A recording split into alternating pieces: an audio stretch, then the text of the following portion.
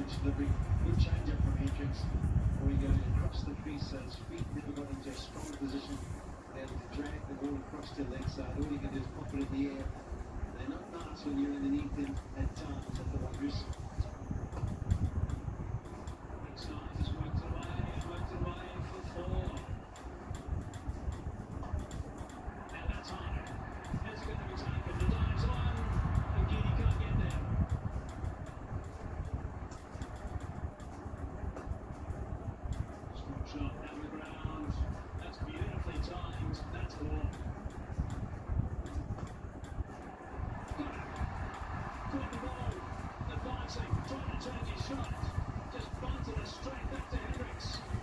He was standing.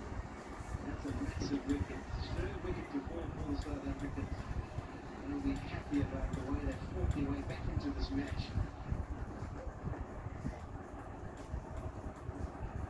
Short